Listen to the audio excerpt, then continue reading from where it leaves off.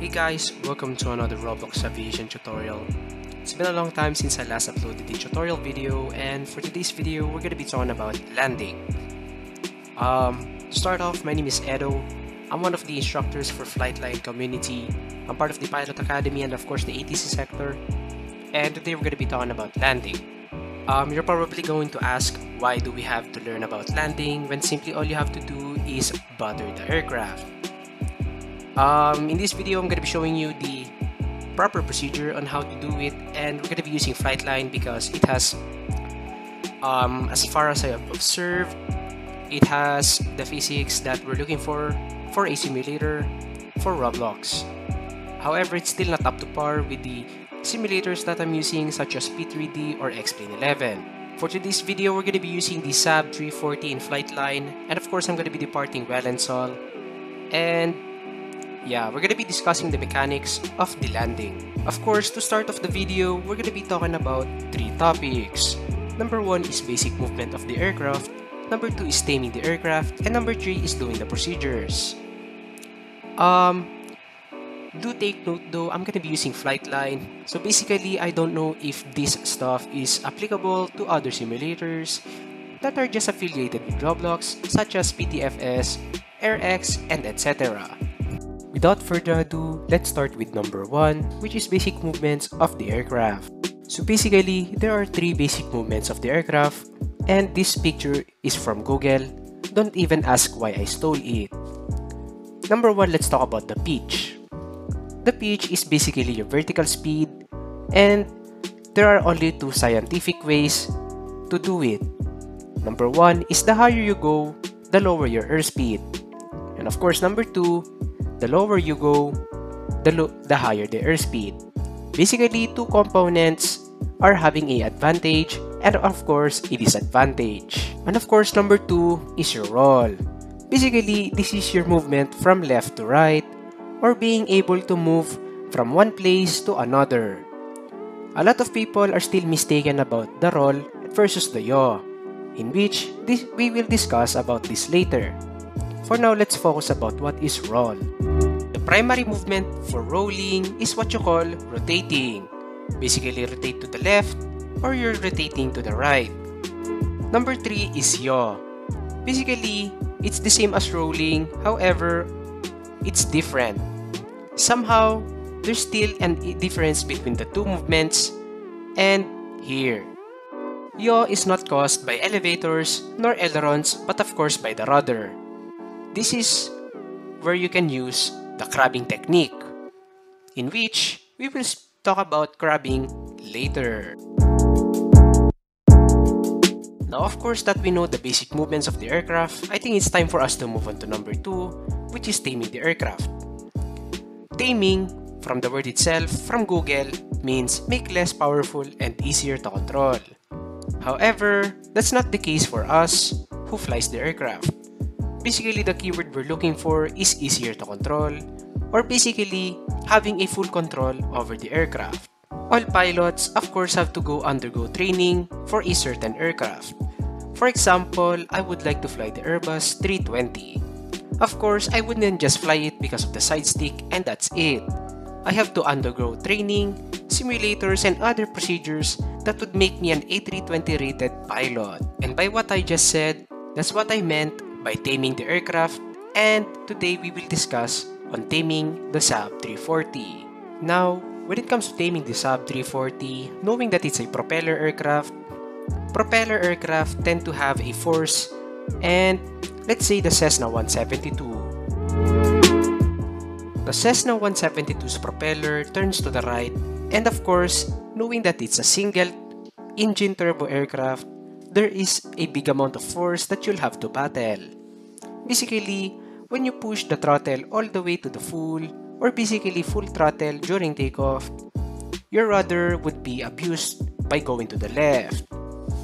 Of course, for first-timers like me, I'll probably have a hard time handling the aircraft even during takeoff just because I can't handle the center line or any other aspects that would make use of the yaw movement of the aircraft or the rudders. Of course, there are also other certain situations that we have to make sure that the aircraft is fully under our control.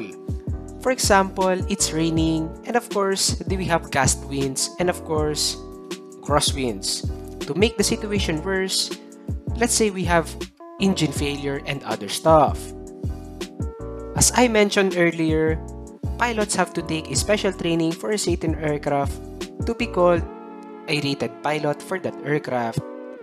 Basically, that means that any situation that can be covered for the aircraft is already learned by that certain pilot and pretty much that's why you can call them an aircraft rating pilot.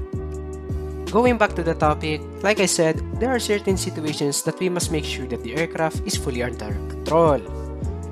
And one of those situations are crosswinds and a lot of the times when we fly in Flightline, we know the winds drastically change 180 degrees or more.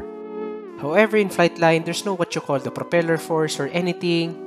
Basically, we're just gonna be controlling the aircraft un- under the mouse and here we are starting with number 3 doing the procedures and a bunch of techniques but before that we have to make sure that we know these three basic terminologies for landing Number one is retard.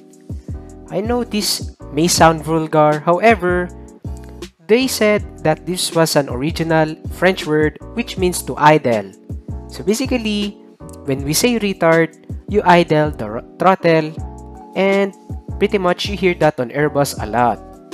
Flaring is a landing procedure wherein you have aircraft nose um, slightly upwards, making sure that the landing gear touches first before the nose gear.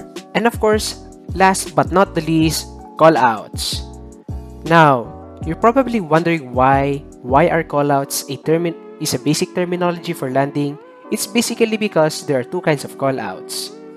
For Flightline, we have the automated callouts and of course, the human callouts. And now that we're done with these three basic terminologies, now let's talk about the mechanics and techniques behind landing. Of course, when we're going to land, we have to make sure that we have to kiss the touchdown zone or the big rectangle marking on the runway and here's a picture shown above. Of course, number two is that we should have a stable approach. There's this what we call the ILS or the Instrument Landing System in which is a kind of precision approach that most pilots use until landing. The ILS has two basic parts, which is the localizer and of course the glide slope. And we're not going to be discussing that today because that's a very big topic when it comes to ILS. Now I'm going to be showing you two videos of my landing wherein the first video is that I would follow the ILS and I would retard my throttle and of course, the number the second video is going to be a video wherein I also follow the ILS and I'll be crabbing but I won't be retarding the throttle. And then number 3 is that we should flare usually at 30 feet. And at 30 feet, that's where we basically retard the throttle and start the flaring and we have to make sure that we actually aim for the touchdown zone. Number 4 is that we should prioritize center line especially when we're landing. We don't have to treat the runway like a highway. And of course, center lines can be very challenging, especially when there's bad winds or crosswinds, or basically it's not your day to day, and the, the winds are just against you. And of course, number five, practice and enjoy. Not all landings are always good, nor buttery. Sometimes there are cases that we don't really have to butter the aircraft, such as a wet runway, and there's just a situation that comes up that you won't really be smooth, be able to smoothen the landing. However, you're gonna be having a firm landing. Um, there's this quote that they say that a good landing is a landing that you can walk away from, and just keep that in mind that this is just a simulator. You can come back anytime you can respawn, and etc.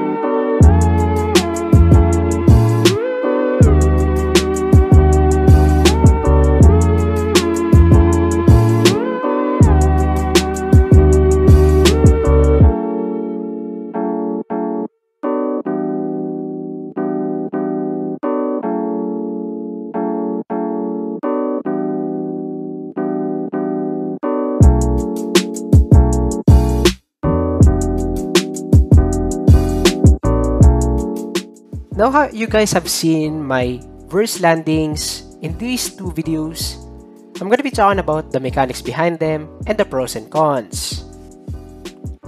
On the first video, you guys have observed that I actually retarded the throttle and I managed to touch down at the touchdown zone. My center line wasn't really good, but I tried to recover it and I managed to do so. And you guys can see that the runway consumption, I didn't even take full of it and I just vacated as soon as possible. For the second video, you guys have observed that I didn't return my throttle and there were two things that I managed to miss. Number one, I didn't land in the touchdown zone and number two, of course, my runway consumption was larger than the first video. However, the two good things I had is the center line and of course, I smoothened out the landing. What I'm trying to say here is that safety is our number one priority, especially in aviation, since we're carrying a bunch of other passengers, usually 50 plus.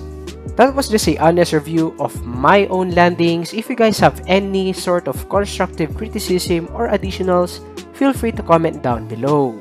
I want you guys to know that we're actually flying with passengers and cargo, we're not flying with landing judges, so don't feel pressured when landing. So that's basically all for this landing video. I tried to shorten it out and pretty much I just can't. Somehow I'll try to shorten the other videos maybe less than 10 minutes, I'll try to fit in every information I can, and maybe I'll target 5 minutes and below.